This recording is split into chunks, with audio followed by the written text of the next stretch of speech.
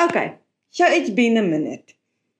You see, when I started this YouTube channel, the idea was that my photo and the video would go up more or less the same time. Well, that didn't really happen and still doesn't happen. With the 52Frames photo, it became a big part of my life. It's not a chore, but something that needs to happen every week. And I make it happen every week. Not all week strong, but every week I get out and I take a photo or stay in and take a photo. So that became a big part of my life. With the videos, it kind of started taking over my life and not necessarily in a bad way. It's just very labor intensive. And I take my hat off, my hat off to those YouTubers who put out a video each and every week. When I started these videos, I told my husband, it feels like I'm learning all of these languages at the same time.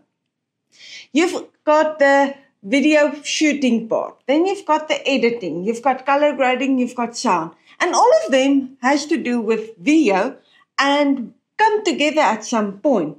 But they are all so different and new things you have to learn. So it's quite labor intensive and takes quite a bit of time. The thing is then that when life happens, my video falls behind. And that's what's happening to me at this moment. And I'm not complaining, I'm planning to catch up as soon as possible. But it's been an exciting year. It's my fourth year in 52Frames. I've started these videos, which I'm excited about and want to keep going. Our blog Wandering Wolfs got a huge revamp with some add-on features. We did an amazing trip to Botswana, as well as we just came back from a quick trip to South Africa for some extra family time.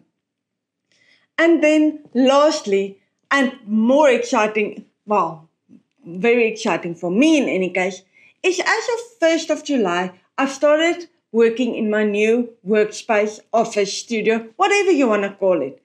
But more on that in another video. So hopefully, with my new space being much more organized, I'll be able to put out videos a lot quicker. So let's hold thumbs that that is the case. You in the next one and thank you for watching.